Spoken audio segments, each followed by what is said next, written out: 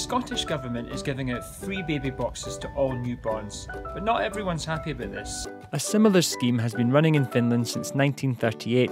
It sees expectant mums offered a free starter kit of clothes, sheets, and toys.